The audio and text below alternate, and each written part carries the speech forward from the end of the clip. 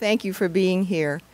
I have been looking forward to this talk and to meeting um, Daphne and having all of you meet her uh, since I knew she was coming.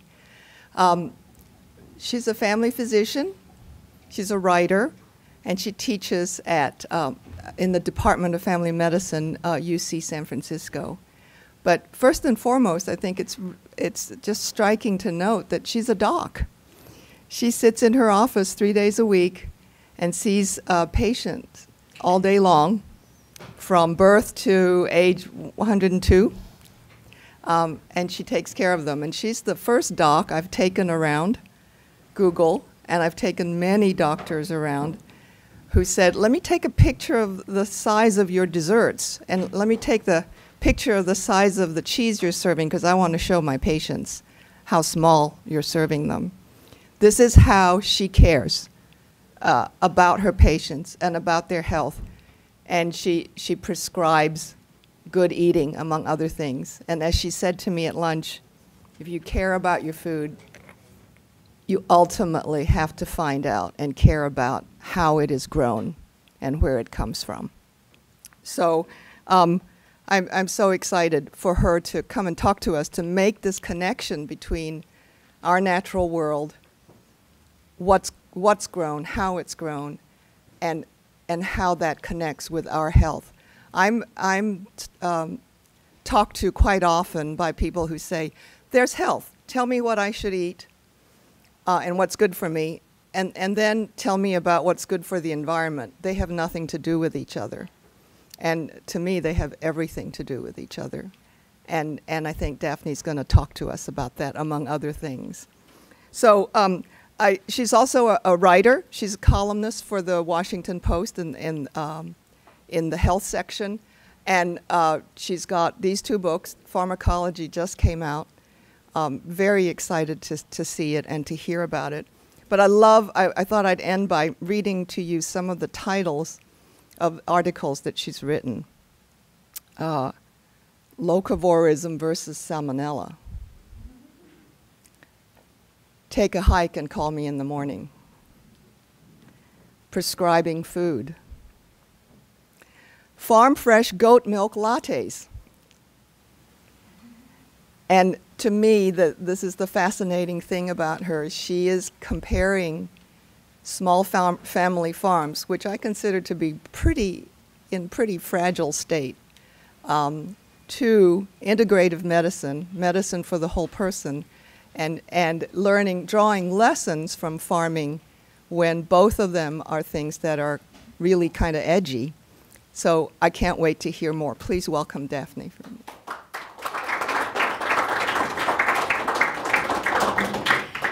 Thank you so much. It's lovely to be here. I have to tell you guys that you're kind of like my lucky penny because five years ago when Jungle Effect, my last book, came out, it was at Google that I gave one of the first talks, and that book went on to do quite well. And once again, this is one of the very first talks that I'm giving on Farmacology, so you, maybe I need to rub all of you afterwards. So I'm going to tell you a story about soil and your health today. But first, I'm going to tell you a little bit about how I got on into all this in the first place. Maybe one way to illustrate it would be to tell you about a conversation I had with a reporter a couple weeks ago. This was a reporter that was interviewing me about the book, and at the end of the interview, he told me about something that he'd seen down at Stanford at their new technologies, cool new um, inventions expo. And what it was, was a box. And you could buy a cartridge, just like you can for a printer. And the cartridge contained a plant and soil and a computer chip. And you would put it in the box and shut the lid and push the button, and you would get a plant. And the inventors who were, they're actually on Kickstarter, were saying, this is great. Now anybody can be a gardener or a farmer. And the interviewer wanted to know what I thought about this. Well, the geek in me thinks it's pretty darn cool. You know, the, what is that computer chip doing? And all you have to do is add water. Are you serious? And the, this plant grows on your counter, and you need light, but you don't even really need sunlight. And you know, I was like on my phone trying to find the website and everything. But the healer in me had some real hesitations. How do we think that we can reduce something so complicated? something that nature does with so many elements as growing our food down to a cartridge and push the button in a computer chip.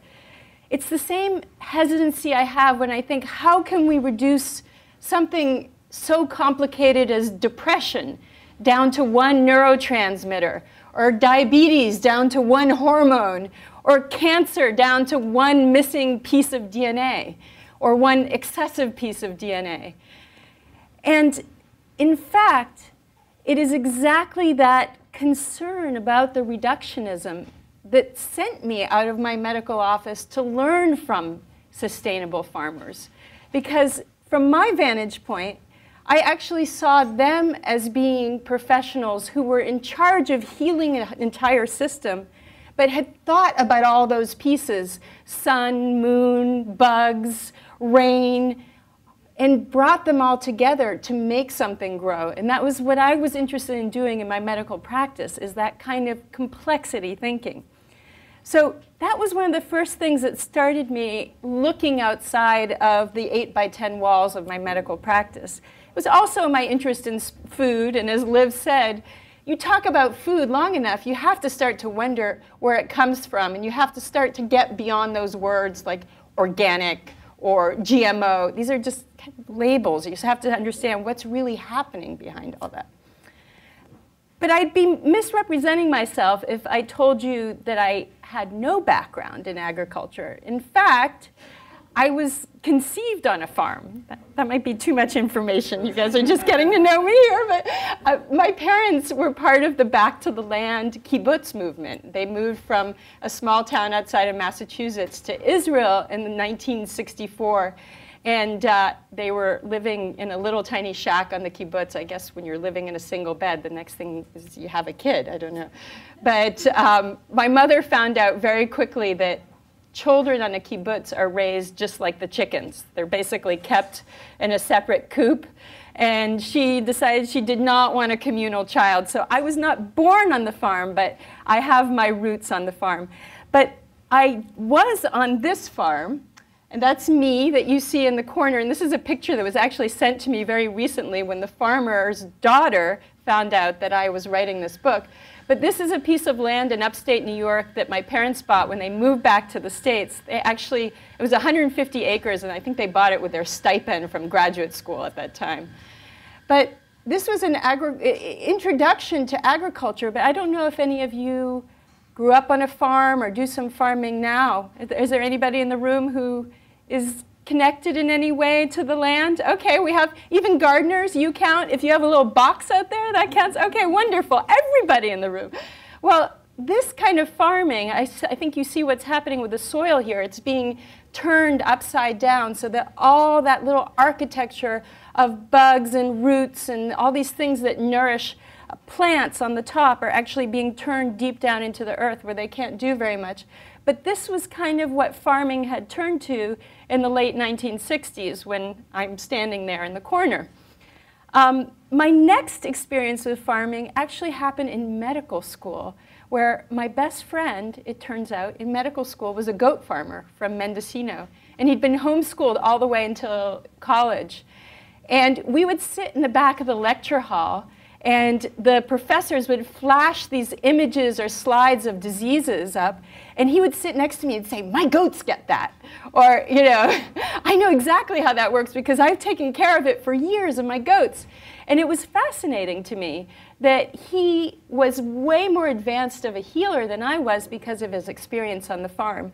And that stuck with me. So then my next experience with farming, I'm giving you sort of my background in farming, was as an intern in the Salinas Valley. I went from Harvard Medical School, which was sort of this, you know, tertiary care, hyper-reductionist, focused specialty training to a family medicine training in the Salinas Valley. And there I took care of farm workers. And it was uh, the first time in my life that I saw something called organophosphate poisoning, which was a pesticide that's now illegal, but then in the early 1990s was still being used all the time in the fields. And I remember one of my first times in the ER being on call and this woman coming in pregnant, her fingers stained black from picking berries, seizing from organophosphate poisoning. And the, the, I saw an array of fetal malformations in their busy obstetrics ward that I hadn't seen during my previous training. And so there it was really the dark side of farming that I was exposed to. But my real interest in farming probably happened the same time as all of you, in that I started to become interested in sustainable food, in this fantastic movement of, you know, knowing your farmer and going to the farmer's market and um, hearing about young idealists, people in their 20s and 30s who were giving up their fancy educations and going back to the land and starting to grow uh, vegetables, veritable vegetables. And I heard these stories, and here I was as a family doctor in medicine, wondering when are people going to be clamoring for their medicine to have a face, the way they're clamoring for their food to have a face? And when are we going to get these same idealists who are pouring into health and healing and wanting to be primary care doctors the same way they want to be farmers, underpaid primary care doctors? And I'm still waiting for that movement to happen. But that is why one of the reasons I started to look at this paradigm of complexity and sustainable farming. But then, the more I started to learn about farming, the more I realized that farmers and I have the same patients. I started to look at actually what they do on a given day. And you have to squint a little bit here, okay? But if you do, it's amazing the levels of the structures, the way actually that they work and that the nutrients are moved from top to bottom. And look at those hairs. Their hair follicles look surprisingly like soil. I mean, there is a pattern here that repeats itself not just between the skin and the soil, but between the intestinal lining in the soil and the pulmonary tree in the soil. And then you start to look on the electron microscope level. Can you guess which one of these is the villi in our intestine interacting with microbes and nutrients, and which one is roots interacting with microbes and nutrients? Can you guess? Don't read the bottom. You cheated already. but hard to tell, right? So the one on your left is the intestine, and these are the intestinal villi, and this is the glycan, the nutrients that are being processed and brought in. And this is the same with the rhizosphere, with the roots from plants.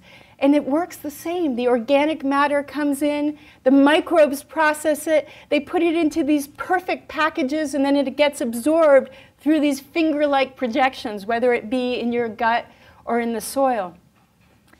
And then I started to learn that the ideal pH of soil and the ideal pH of our bodies are pretty much exactly the same. And the carbon to nitrogen ratio of soil and the carbon to nitrogen ratio that makes up our being is darn similar. And then all of a sudden it dawned on me, and I feel pretty stupid that it took all these years for it to dawn on me as a physician. But you know all those carbohydrates and fats and proteins that make up our body? Where do they come from? They come from the soil via our food. In fact, it's not too much of a stretch to say that we are soil. And when I started to think about what that meant, all of a sudden my exploration took on sort of two levels of meaning. There was the model for farming that interested me as a doctor. And then there was the practice, these things that I could actually learn that I call farm to body lessons, that I could go out and bring my patients so that they could be healthier. And Farmacology is sort of the culmination of all that. It's a whole series of lessons from everything from uh, um, laying egg farm and what it can teach us about different kinds of stress, to a cow calf farm and what it can teach us about super immunity or how to build our um, resistance, to an aromatic herb farm that teaches us actually how plants have special messages for our metabolism and our body. But I'm going to tell you one story today. And as I said at the beginning, it is the story about soil and us. And it starts actually with this farmer here, Eric Hawkinson, and his wife, Wendy. Eric was actually not married to Wendy when he bought his 12 acres of land in the Snoqualmie Valley in Washington state. He bought it in the late 1980s after having a varied career. Unlike a lot of farmers, he wasn't born into farming. He actually had gone to Yale Divinity School for a while, and uh, then he became a salmon fisherman up in Alaska. But then in the late 1980s, he wanted to fulfill a lifelong dream, and he bought 12 acres in the Snoqualmie. And his goal, as he explained to me, was that he wanted to grow vegetables that had nutritional punch. But as he started to farm the land and plant his crops and see what he was getting, he realized that in fact his soil was depleted. It was tired. It had no more nutrients in it. And now, from what you've just learned, when your soil is depleted, that means that your vegetables are not going to have nutritional punch. And so he was a smart man, a learned man. So he went to the agronomy books, he went to the agricultural science textbooks, and he started to learn about how to replenish his soil. And he learned about what is called testing and replacing, where basically you go around your property and you take samples in each one of the fields that you're planning to grow your vegetables in. And then you take these samples, and much like a test tube, like you would with your blood when you go to the lab, and you send it off to a central lab that's an agronomy lab. And they send you back something that looks very much like this, very much like the reports that I get in my office for my patients. And it tells you, you get one for each area that you've sampled, and it tells you if you have too much of a mineral or too little of a mineral. It also tells you how much to replace it. And so Eric took all this information, being the dutiful farmer, and he started to follow directions. So I'm going to actually take a second and just read you a tiny excerpt from the book about this. And it's Eric talking to me. I spent days following up on those computer readouts. I used my John Deere cone spreader and ended up putting thousands of pounds of minerals all on my 12 acres. He was not exaggerating. I estimated from the reports that in the years Eric used the agricultural testing services, he'd spread more than 50 tons of imported minerals over his land. But somehow it didn't feel right. There were lots of minerals that I wasn't sure where they were from. They were probably taken from developing countries where their soil needed these minerals more than we do. And I was also wondering if these are all so good for my plants, why does the manufacturer recommend that I wear a mask while I'm spreading them? Plus, despite all his efforts, Eric was not seeing the miraculous improvements that he'd hoped for. He said, I couldn't help thinking, yeah, I'm putting these minerals on the soil, but are they really getting to the plant? And if I happen to put down a little too much of one thing, what did it do to all the other nutrients? I'd heard stories about how adding too much of one can lock up other elements. This could create soil conditions that were even worse than when I started. So I'm sitting there at Eric's dining room table, and he's telling me this story. And as he's talking, all of a sudden I flash onto a patient that I had seen in my office a week before coming to his farm to do this internship. And her name was Allie kind of changed her name for the book. It wasn't really Allie, but we'll call her Allie. And she's pretty typical for my practice. She was a woman in her 30s who, the best word I can find to describe her was depleted, just like Eric soil.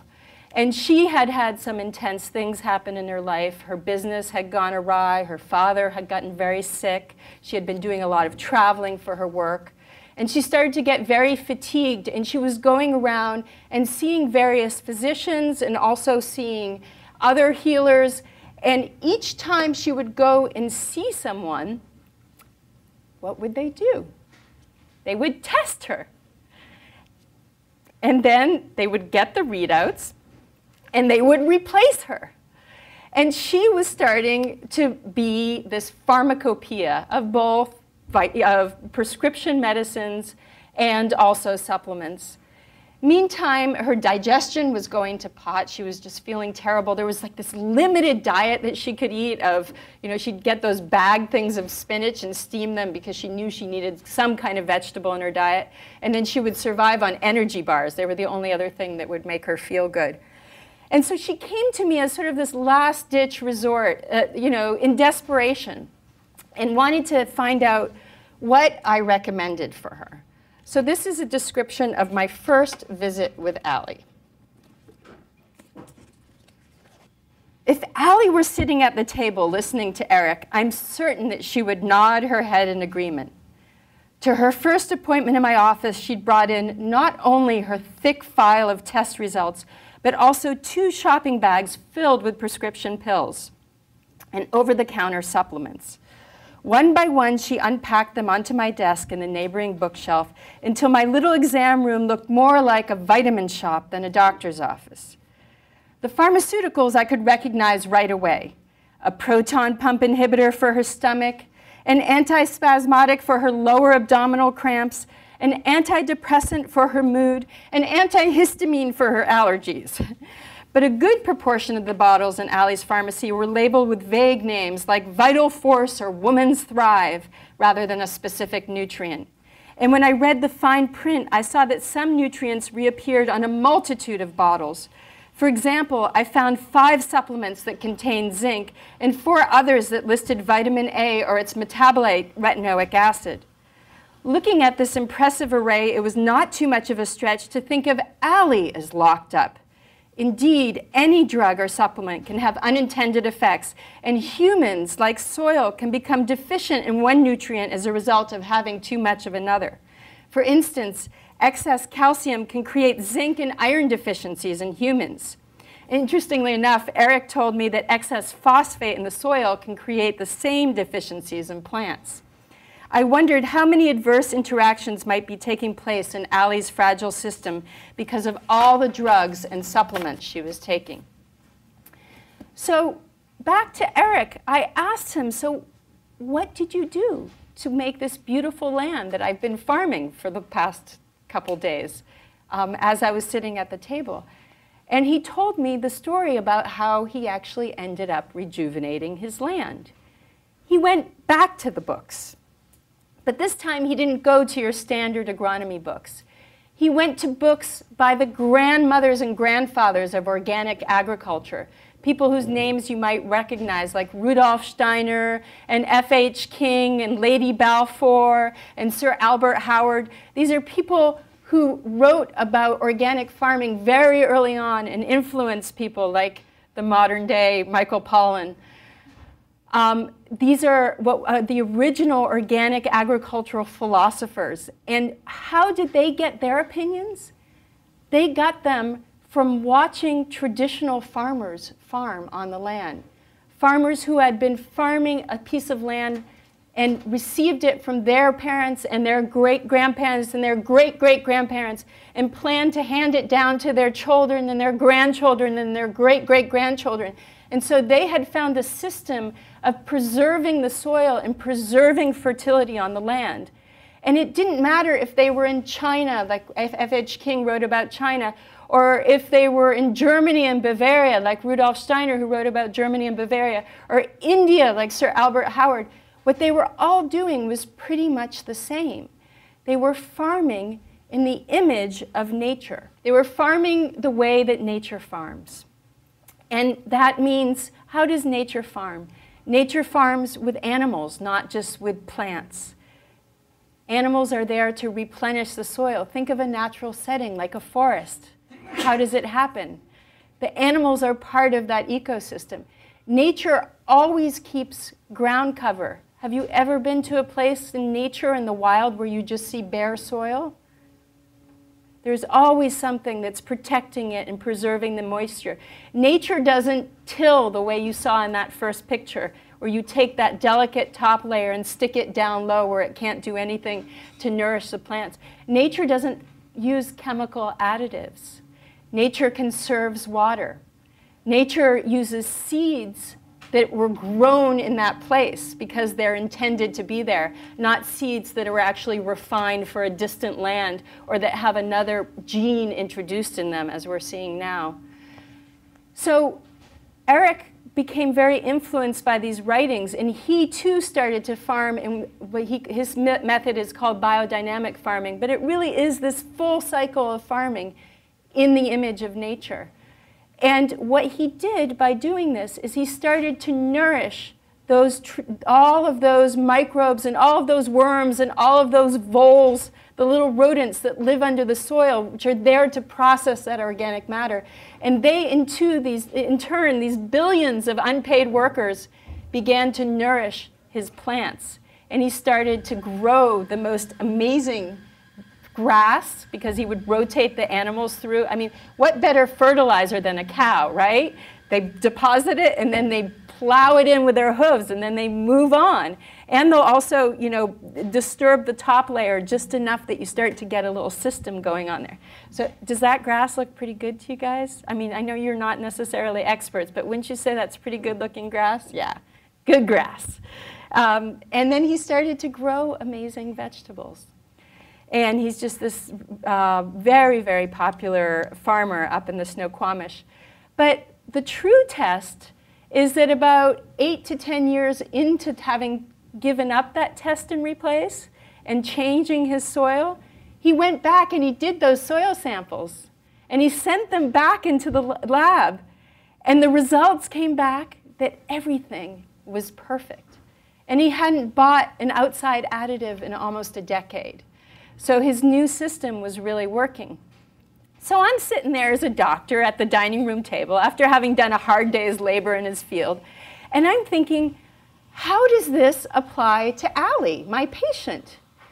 Here she is in San Francisco suffering, eating her energy bars and her wilted spinach from Costco, but, and you know, eating her bags of medicines every day. Can I make the leap? Can we start to say that when Allie enters an eco-cycle, that she too can get healthier, just like his vegetables and just like the cows and just like the worms and just like Eric and Wendy reported for themselves and their farm interns, what would happen to Allie? So I'm a woman of science, so I started to go to the literature to see what happens. I mean, we have all this data now telling us that if it is a biodynamically rich soil, if there's a lot of worms and a lot of microbes that are just teeming in that soil, and there's a lot of actual DNA in the soil, that you grow a more nutrient-rich and more varied crop. Can you guys tell which is the, the, the, biodynamically rich soil here, just from looking at this slide? This was published in, what's your guess? The one on the left. Yeah, see, and you're not a farmer, right? You could just tell. If you just even looked not at the greenery, but at the soil itself, what do you see that's different? How would you describe the two soils? Happy. Moist. Rich. Yeah, there's something about it that feels pliable, like it can give, like it, it can allow earth to come through. You're not going to believe this, but as a doctor, when I look at my patients, I apply a lot of these same values. This is what you learn is that recognized, you know, healthy sick. and, uh, you know, this was fascinating for me to see that, you know, I had this language actually in common with farmers, our ability to sort of evaluate things. But we have a lot of data now showing us that microbes in the soil and this rich soil have everything to do with the value of the nutrients that come out of it. And I don't know if you guys are familiar with the study that came out of Stanford about nine months ago saying that organic is no better than conventional. That's because they were asking the wrong question. If they'd been asking about the soil, because there's many organic soils that look like that. In fact, that's an organic soil. If they were asking it does microbial rich soil and well cared for eco soil like Eric's produce healthier vegetables? Their study would have had a totally different result. Isn't it amazing in science if you ask the wrong question? You really go down the rabbit hole. But so we have lots of information about this. This is not disputed at this point. But what we don't understand, and we have lots of information that nutrient-rich foods makes for healthy people. We have that information too. But we haven't completed the arc from soil to our bodies. How do we relate to soil? What happens if I put Allie in that ecocycle? What happens if I put you in that ecocycle to your health? And these are the kinds of cross-disciplinary, big picture questions that we need to start asking and not get caught in our click and grow bubble, you know, of putting the plant in the box or the human on the drug. So I went, I called lots of scientists. I asked them this question, what happens to us when we get connected to healthy soil? Can we actually turn our health around? And most of them, there was science, uh, silence at the end of the phone. I talked to people in health. I talked to people in ag agronomy. But one day, I called Justin Sonnenburg. And he's a microbiologist at Stanford. Do you recognize his slide there on his desktop? You saw that earlier, right? That's the one I showed you of the, the, the human gut. What Justin and his wife Erica do, they're a team in their lab, and they study the microbiome, which is that massive colony of bacteria that lives in our intestine. Two pounds of us is bacteria that we don't own in terms of it not being part of our DNA, but that we're discovering more and more has everything to do with our health. It has to, to do with our propensity for allergies. It has to do with our level of immunity. It has to do with our metabolism. It might even have to do with whether we are you know, heavy or thin. These are all things that are related to the microbiome. And if you're interested in reading more, uh, Mother Jones has a fantastic article that just came out, I think, last week that's specifically on it. It's one of the best pieces I've seen. But there's more and more coming out about how much these little bugs in our gut sort of rule our health. And um, what we're discovering is that a certain percentage of these we inherit the same way we inherit property or our grandmother's candlesticks. You know, they come to us within our family lineage. But there's another percentage of them that we get from our environment. And we get from a variety of places, including the places where our food is grown. The soil and water. Water is, you know, the oceans are where our food is grown as well. Sometimes we don't think of that as the water equivalent of soil, but it is. And so Justin said, you know, we're just starting to discover how the microbes, those microbes that Eric is growing in his soil, interact with our microbiome and what effect that's having on our health and that that might explain at least a good part of what happens to someone like Allie in terms of her health when she enters the farm cycle. But I'm just going to share with you some of the research that's coming out of this. And this, this is new stuff, guys. This is, you know, I've gone from ancient farmers to, you know, sort of cutting, cutting edge microbiology here. But um, what we're starting to discover, and this is a study that just came out a couple months ago, is that when your food is grown in soil that's been mistreated, that's been dosed with antibiotics and pesticides and fertilizers, the bacteria that's encouraged to grow in that soil, first of all, it becomes very monotonous. You don't get the huge variety that you got in that slide that you appreciated. You tend to get fewer types of bacteria, and they develop antibiotic resistance. And then what happens is they hitchhike on your food into your gut and they give information. Sometimes it's just a segment of DNA to your microbiome. And they actually can convert, good guys, they can convert the nice candlesticks that you got from your grandmother into antibiotic resistant bacteria.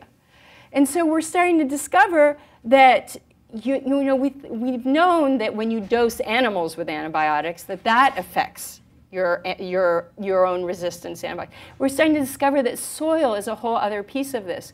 And we just don't even know what other kind of negative information can come in from having your food grown in negative soil. They're just starting to code these strands and figure out what this little invisible exchange is that's happening.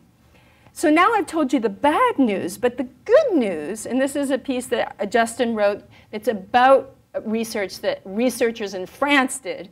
But we're discovering that good information gets transferred as well.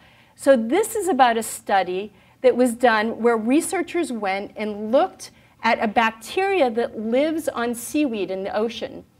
And this bacteria has a sequence of DNA in it that's really good at digesting seaweed and processing those nutrients and using it. And it's bacteria that's called a Bacteroidetes type bacteria.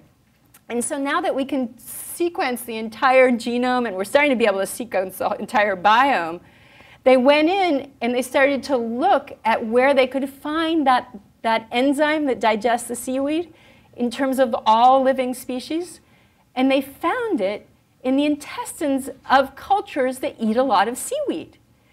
And so what happened is that that bacteria passed its DNA on, it hitchhiked on the seaweed into the microbiome of these seaweed eating cultures. And as a result, they have a better ability than non seaweed eating cultures to digest seaweed and harvest its nutrients. They have these special bacteroidetes that are sort of like seaweed gluttons and that give them all these great nutrients from seaweed that let's say if your family grew up for you know centuries in Eastern Europe, you don't have that ability. And as Justin Sonnenburg said, this is just the tip of the iceberg. How much of this information, this pass the gene game, is happening between us and our soil at every given meal, we're just starting to discover. I'm not going to load you with a bunch of this new research, but I need to tell you this other study because I just love it. This is um, Italian researchers who went to a tiny village in Burkina Faso and actually kind of a weird study. They took a group of healthy children in the village and collected stool samples from them and studied the bacterial content of their stool. And then they went and compared these stool samples, the bacterial colonies in it, to a sample from kids who were living in downtown Florence.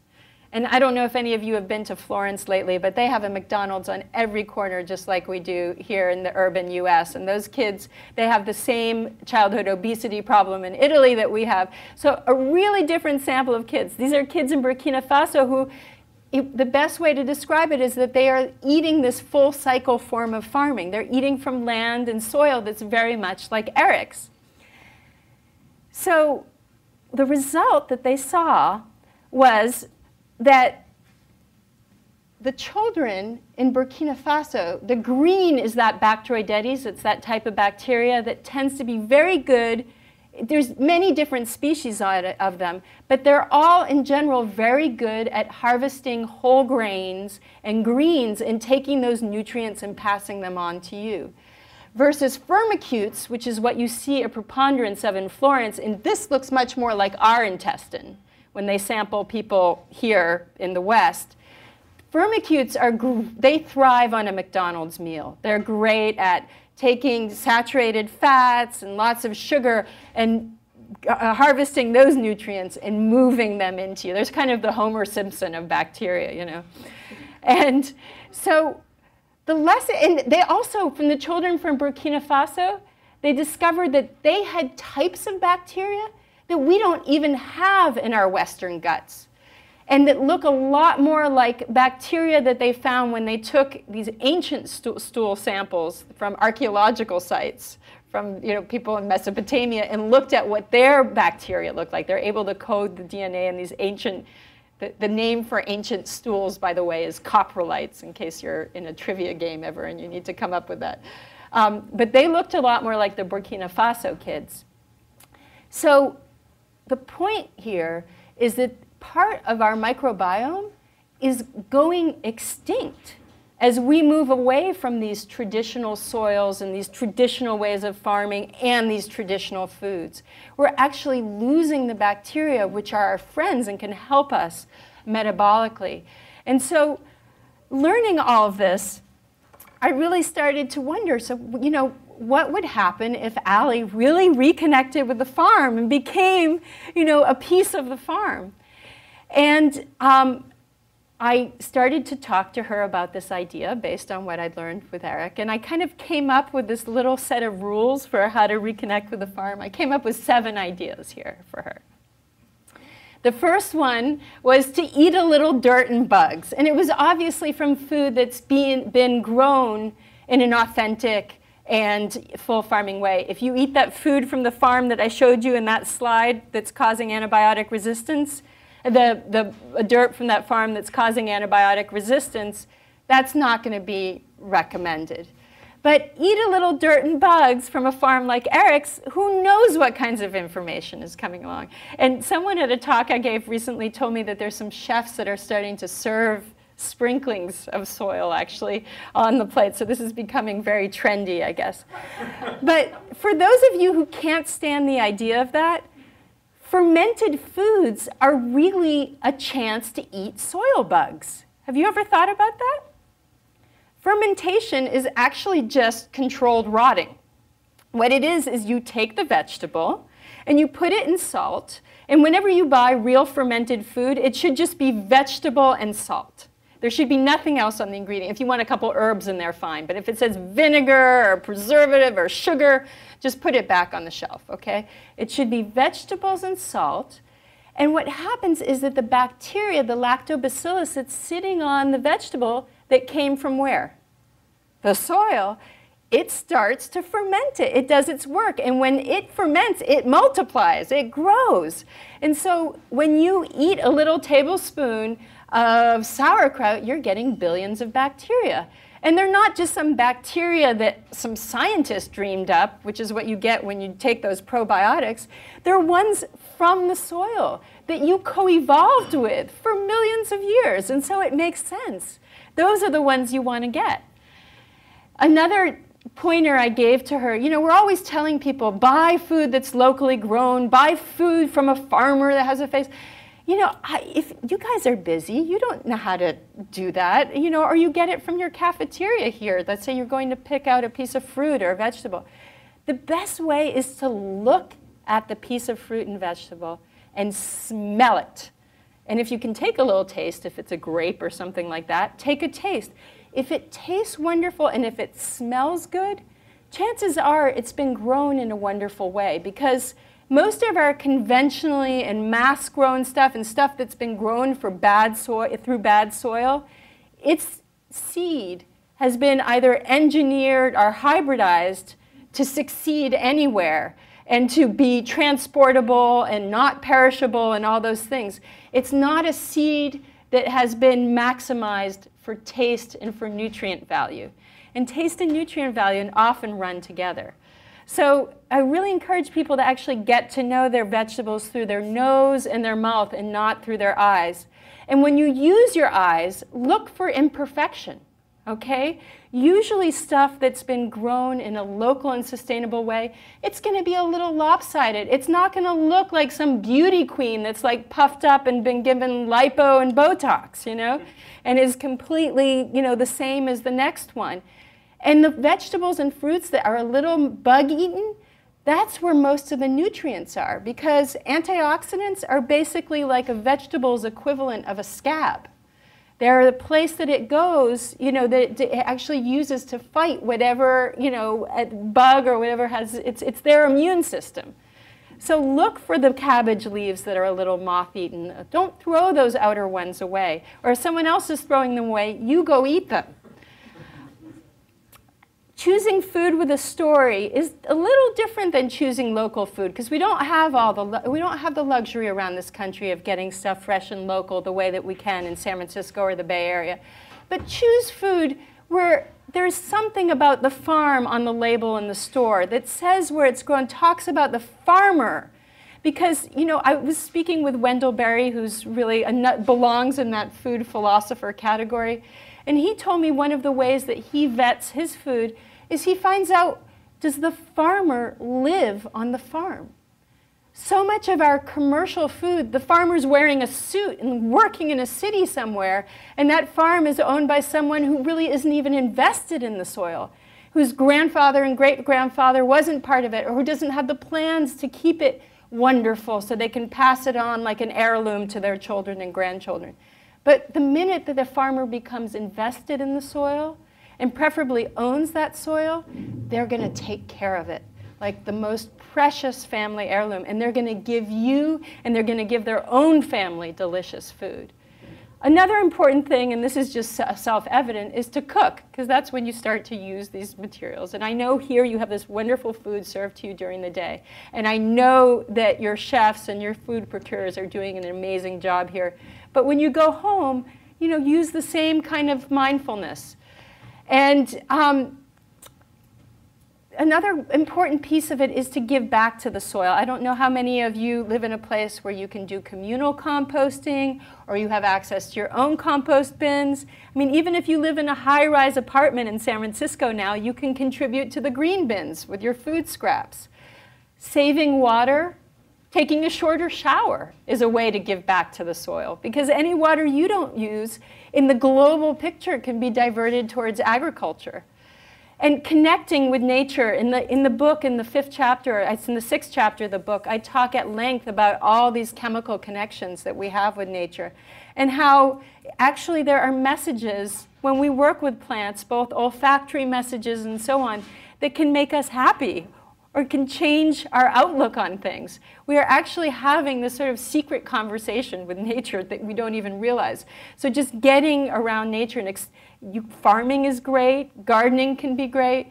I wrote a chapter that took place in the Bronx in the book uh, with urban farmers, and one of the researchers who's studying urban farmers found out that they were healthier and thinner even if they weren't growing vegetables, just because, you know, being outside, perhaps connecting with the plants, who knows what it was. And the most important thing is to treat your body the same way as you would treat your food. So anything you put on your body or put in your house, think of it as something that eventually is going to end up in your soil. Because it will.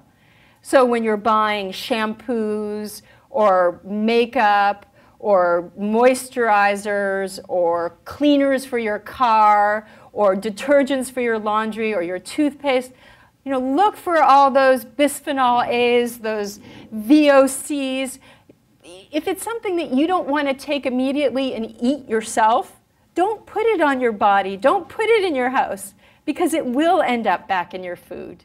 Um, vinegar is a fantastic cleaning uh, um, resource. I use it as a cleaning fluid for everything in my house. Believe it or not, baking soda is the best shampoo I've ever discovered. Cocoa butter for your skin. And these things have everything to do with the farm and have everything to do with your soil. And the other thing that I didn't write up there, and this is really important, is to treat your body the same way as a mindful farmer treats their soil. Because sometimes we care more about the soil than we do about ourselves, which is very interesting. So I shared all of this with Allie, and we strategized about how she and her San Francisco life could start to do this. And she actually started to get a CSA box and she started to volunteer in the school garden and just made more time to be outside and made more time to cook and started to have a different idea about how she was you know, choosing her food. And she slowly started to get herself off of those shopping bags full of medicine. Um, the one medicine, because I saw her recently, she still takes an antidepressant. But everything else, she stopped it. My guess is that the antidepressant at this point is a pretty low dose, but she holds on to it, and I'm totally fine with that. I'm an integrative doctor, and I like to straddle both worlds. But who knows what piece of the, all of this worked? Was it the subtle messages from the plants? Was it the microbes? Was it her just getting off all those medicines that were interacting with her microbiome? Who knows? Was it her just all of a sudden having a different outlook, a different view? But um, about six months after she made these changes, just like Eric, we sent labs tests on Allie. And they came back, all of her labs, all the subtle deficiencies in iron and vitamin D and so on that all those other practitioners had been replacing, they were normal. And so I called Eric and told him, and he kind of high-fived me over the phone. So we both realized that we'd done pretty much the same intervention. So this picture is just to show you, this comes from another chapter of the book. It's about raising resilient kids. But this is the kind of connection that other cultures have with their farms and their soil, and this kind of trust that they have, that there's real health there. And I just wanted to show you that. But thank you so much for listening, and please spread the word about Farmacology. Uh, go ahead and Facebook me. I love, I'm a, I just started on Twitter, but I've become a Twitter fanatic. I think it's this great way to learn things, and I share new studies every day because I think you can tell I'm a little bit of a science geek on top of being a holistic healer. And I love to, any new research I put out, I find I like to put out via Twitter. So follow me on Twitter. And thank you so much. It's such a pleasure. And I'll take any questions you guys have.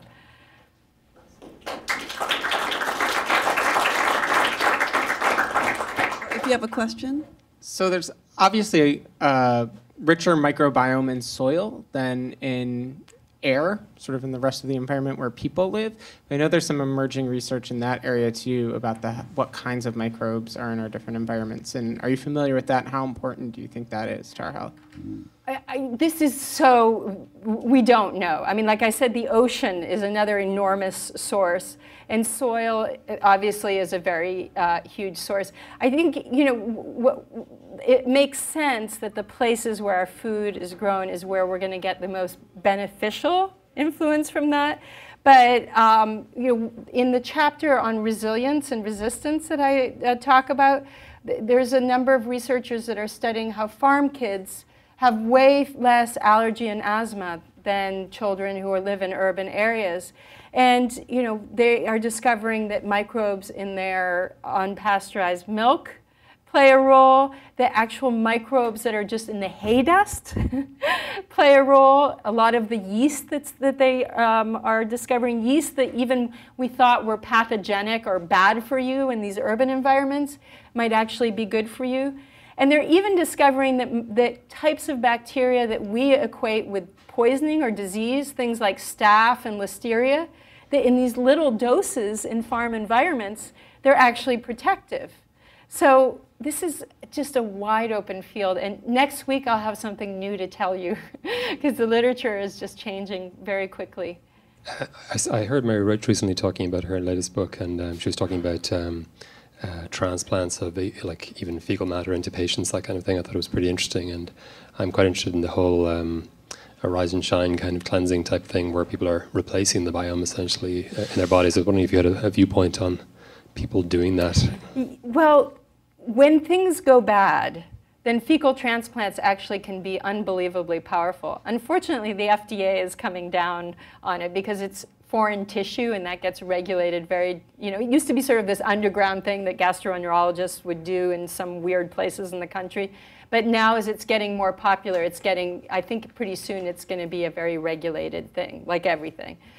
Um, but most of the time, we don't need to go to that extreme. Most of the time, we can actually nurture our biome by eating these correct foods.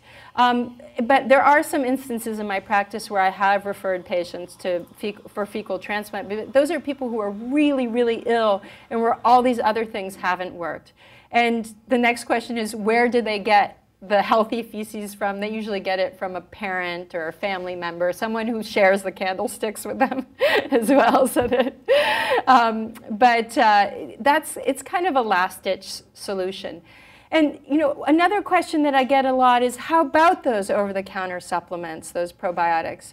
And even people like Justin Sonnenburg, what they're really doing is trying to mine all this information to come up with the ideal probiotic because that's where the biotech is, that's where the money is, right?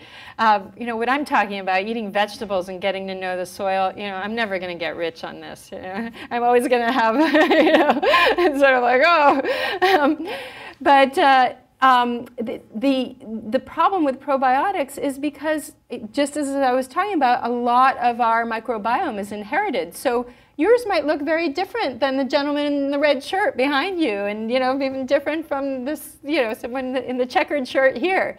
And so, what is the ideal microbiome? We don't know. Should we be trying to look once again like those children in Burkina Faso?